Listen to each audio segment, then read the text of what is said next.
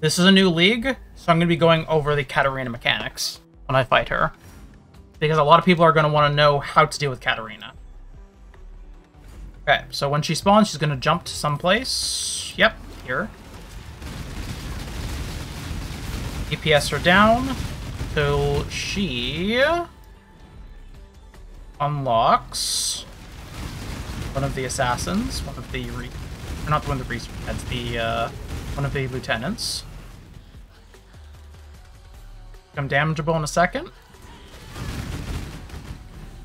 Ooh. Not a good time for lag. Okay. Need to empower the area. But we also have to watch out for center area, which is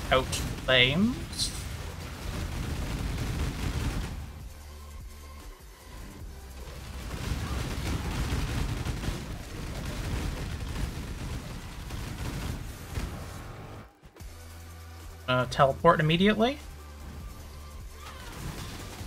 Back. Eve, we will be... Yeah. Yep, empowering this next.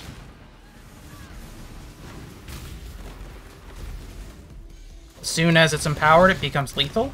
So we want to make sure we're out of there. Okay. Skeletons. As soon as they're active, want to make sure you walk over them so that they all explode. If they don't explode, they will turn into creatures that will follow you and explode for chaos damage. They suck. Actually, I don't know if it's chaos damage or true damage. Either or, it sucks. Okay, we're going to get another capture round in a second, so she's active. Watch out for the damage from the center.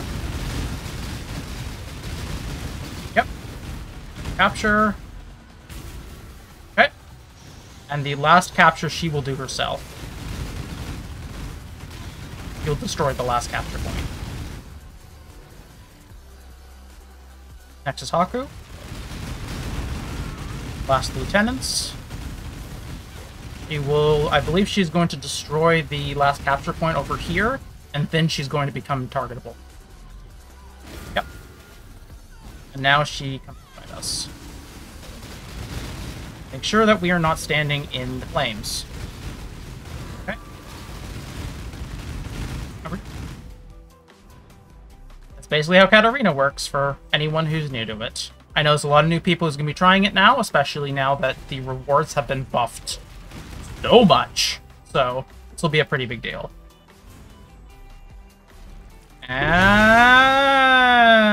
we didn't get the Veiled Chaos Orb. That's fine. Already gotten one, I'm pretty happy.